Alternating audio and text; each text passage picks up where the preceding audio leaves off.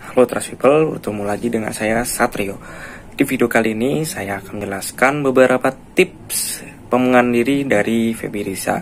Melanjutkan dari video kemarin ya. Tonton terus ya videonya.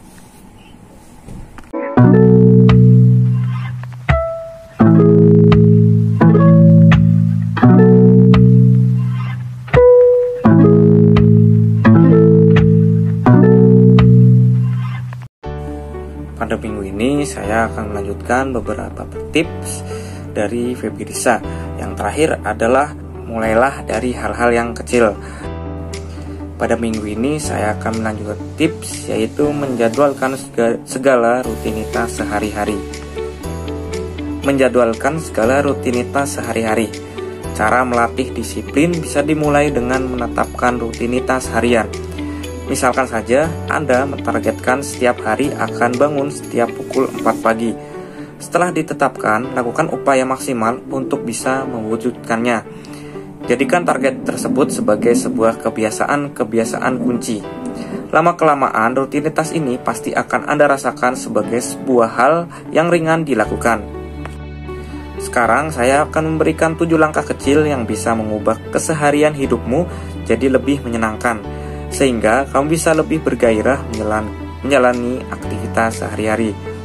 Yang pertama, awali hari dengan afirmasi. Apa itu afirmasi? Afirmasi adalah sejenis mantra yang bisa kamu ucapkan keras-keras untuk membangun pikiran positif. Setiap pagi saat bangun, katakan pada diri sendiri berulang-ulang bahwa ini akan menjadi hari yang menyenangkan. Lalu, mulai harimu dengan tugas yang kamu senangi dulu. Yang kedua adalah istirahat makan siang.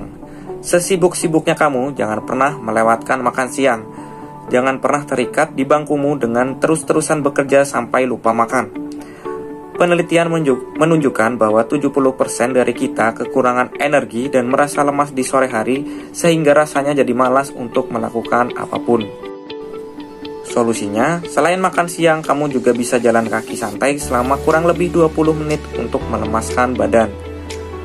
Yang ketiga, lupakan media sosial dan gadgetmu sejenak. Tidak hanya terbukti meningkatkan tingkat ketidakpercayaan diri, media sosial juga dipercaya bisa mengurangi tingkat konsentrasi seseorang. Para peneliti sudah menunjukkan banyaknya efek merusak dari kegiatan online terlalu lama.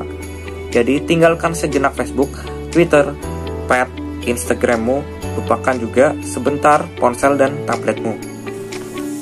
Yang keempat, tahu kapan saatnya istirahat.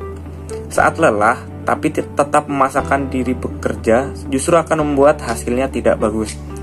Kamu justru akan merasa babak belur sepanjang hari atau bahkan sepanjang minggu. Hasilnya, tugas atau pekerjaan jadi akan berantakan, begitu juga kesehatanmu. Solusinya, batalkan semua rencanamu, akhiri pekerjaanmu, dan tidur lebih awal.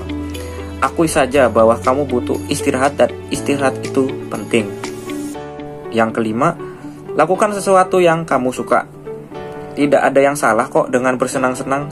Lakukan saja guilty pleasuremu sesekali. Tonton serial TV secara maraton, baca novel romantis, karaokean, atau apa pun. Sediakan waktu setelah kuliah atau kerja selesai dan sesekali lakukan apa yang kamu senangi. Hitung-hitung sebagai penghilang stres. Buat list apa saja yang kamu sudah lakukan. Membuat list hal-hal yang harus dikerjakan justru akan membuatmu stres.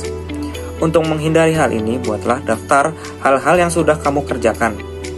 Dengan begitu, kamu bisa merasa telah mencapai sesuatu dan merasa lega. Yang ketujuh, buat peraturan. 8 dari 10 orang merasa bersalah akibat kurangnya disiplin dalam menjalani aktivitas sehari-hari. Seperti contohnya terlalu banyak menonton TV, terlalu banyak menghabiskan waktu di depan gadget, dan semacamnya. Pikirkan bagaimana penuhnya otakmu ketika terlalu banyak aktivitas yang kamu lakukan. Jadi, berhenti sekarang juga. Buat aturan dan bagi-bagi waktu, kapan harus menonton, kapan harus cek media sosial, kapan harus bekerja, dan sebagainya. Pastikan waktu antara bekerja, bersenang-senang, dan istirahat seimbang. Sekian dulu video dari saya. Terima kasih. Sampai bertemu di video-video selanjutnya.